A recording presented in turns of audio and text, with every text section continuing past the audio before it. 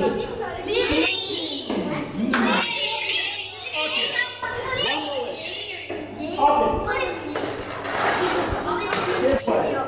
quiet.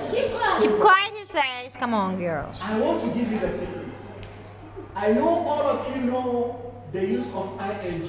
Your, your, ing, right? I, N, G. All the time, pay attention. When you have a verb,